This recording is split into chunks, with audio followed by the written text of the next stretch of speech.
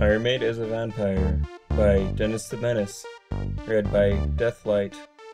Chapter 2 Thicker Than Water.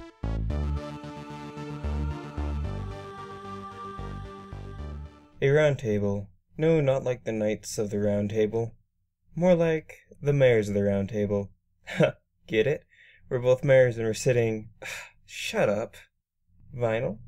She shifted her head slightly, looking up from her sheet music. I hoped to catch a glimpse of her eyes, as their shades had been slipping down the bridge of her nose, but she pushed it up with her hoof when she caught me staring.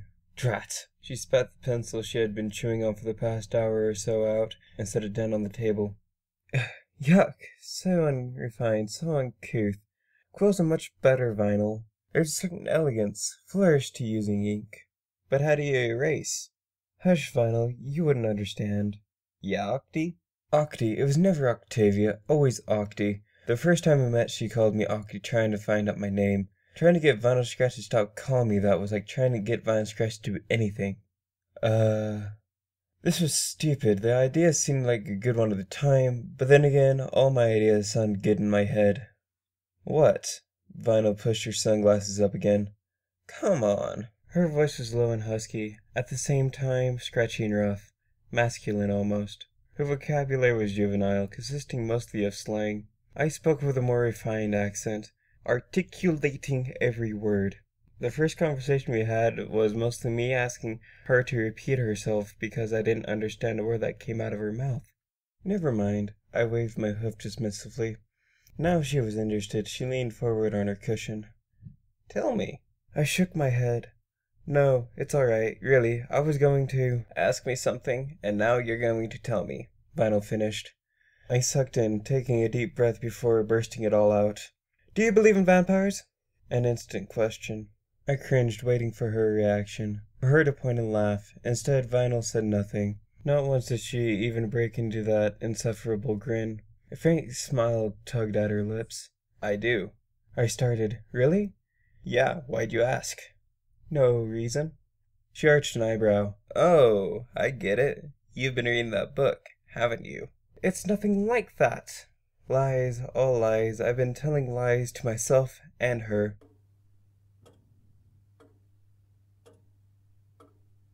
Ah, the Canterlot Concert Hall. Chandeliers, sweeping red carpets, mass enough to sit all of Ponyville.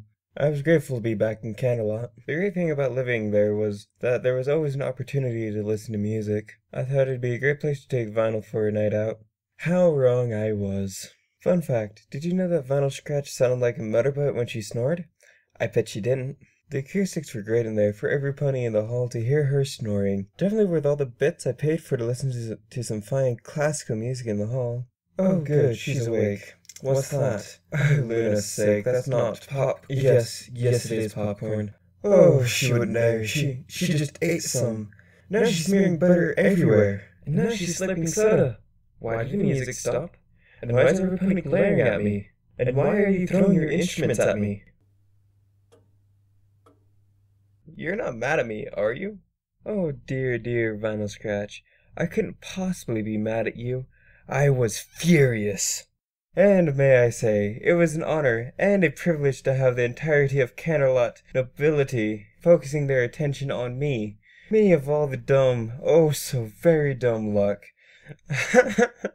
of all the ponies in Equestria, I had the good misfortune of being subjected to their furious gazes. I felt like an egg being cracked over a frying pan on a stove ablaze with a grease fire, with the egg's yolk having not survived the drop, and more gasoline being poured on to douse the flames. If that makes no sense to you, it doesn't. Octi, you okay? Hey, Octi! And why, you may ask, I was bestowed with such a great honor? I was trying to figure out myself, starting by choking the life out of a certain nincompoop. I'm gonna find a way to legally murder you. I giggled with a manic grin spread across my face as I wrapped my hose around her neck. She gasped, Killing me won't solve anything. And then after I legally murder you, I'm gonna do not so many nice things to your corpse, so there won't be any evidence left. I cackled, shaking her around. Octi, I'm sorry. No, you're not. You're not sorry because if you were sorry, you wouldn't have brought popcorn and drinks and snored when they started playing. I let her go sighing. I need a drink. She said nothing, pulling me along. It was like that for a while, just us walking together to our favorite watering hole. Being a Canterlot native, I knew these streets like the back of my face. Octavia? I almost turned my head in shock of hearing my actual name coming from her mouth. No, no, I'm not gonna look at you right now. Octavia, please. No, I'm being mad at you right now. Can't you see I'm not looking at you? That means I'm mad. I'm really, really sorry. Well, here we are anyways. I harumphed and turned away from the unicorn softly, climbing up the last few steps to open the door for her. It was a little hole in the wall, out of sight, out of mind kind of place as compared to the rest of the grand capital city. Most ponies saw kind of Canterlot from their postcard or from a view of the countryside. It was small and cramped, and there was most definitely a bar of some sort with creaky stools and torn cushions. The bartender seemed to brighten as he saw us. I'll have some sparkling water, and for my friend, a Bloody Mary, Vinyl grinned. Extra blood. The bartender chuckled. I merely stared at her with my jaw gaped. She's a vampire. Octavia, Bloody Mary is a drink. She's a vampire. It's a cocktail. The blood is tomato juice. She's a vampire. My mind was made up. Maybe I'd finally snapped. Maybe I'd lost it. I'd been living with her for so long. Just being around her guaranteed some sort of mental deterioration. I sighed, and with one mighty swig, I'd done my entire drink. She isn't a vampire, just me being a silly filly overanalyzing every little coincidence. Feel better? I glanced over to see her, a red mustache on her lip. I giggled and pointed. It was hard to stay mad at her.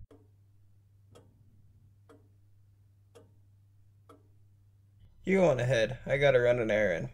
At one in the morning? I cocked my head. Just a quick stop. Then I'll come with you. No! She sighed. I mean, this is something I have to do by myself. Very suspicious, very irregular, even for her.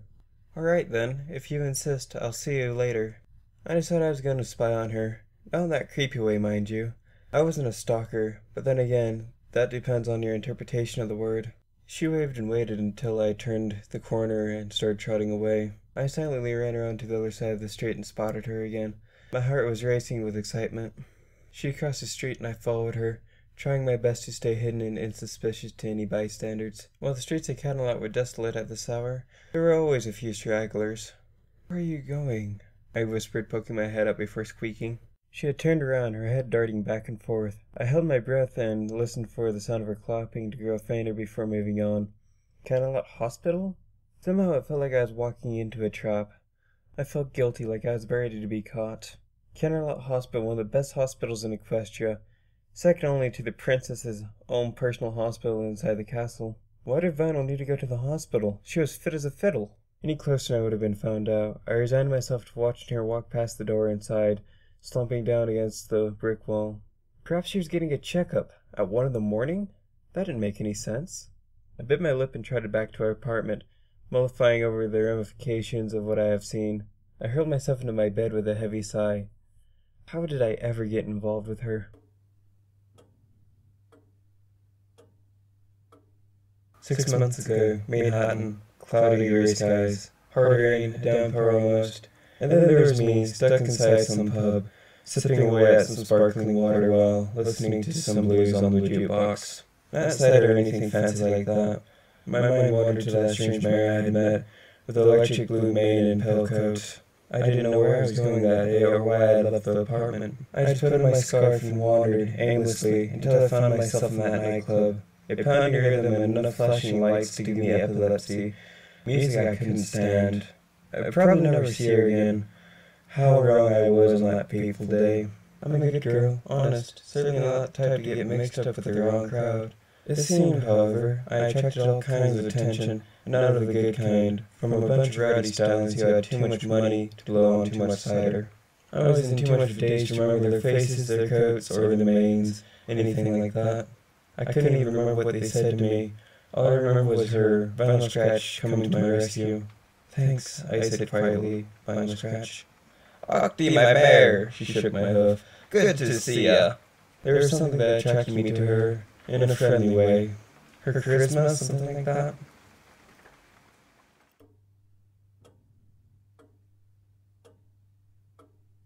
Living with Vinyl Scratch was like living with a friendly manticore who had no concept of personal space or hygiene. She was an absolute slob. I didn't dare venture into the pit of Tartarus known as her room, though I had gotten a peek. Energy drinks everywhere, glow sticks hanging from the ceiling, records on the wall. She had her days, though, and I wake up pleasantly surprised to find her washing the dishes. She's great, right? A roommate who washes the dishes. Morning. Good morning, Vinyl. Did you finish your errand? Oh, oh, yeah. A pause. So what was it? I asked. Uh, I just had to pick up a few cables and cords for my set, DJing stuff. I bit my lip and studied her, boring my eyes into hers, hidden behind those shades. Something wrong? I shook my head. Nothing.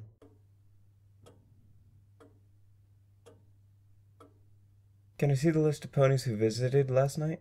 The mare at the front desk looked at me wearily. Sure. Name? Vinyl Scratch. She scanned the list. Ah, yes. She had an appointment with the Canterlot Hematology branch. Hematology? Pretty much anything having to do with the study of blood. Blood? Does it say why she had an appointment? Sorry, no. That's confidential. I groaned. Is there a blood bank or something around here? She blinked. Why, yes. We offer our services year round. Would you like to donate some? The very thought of it made me queasy. No, thank you. I had no hard evidence to prove that she was a vampire. All of it was confidential. I had reached a dead end. Why would she visit that branch of the hospital? Why would she visit a hospital at all? All of it was very fishy. I was gonna have to do a little bit more digging if I was gonna see this through.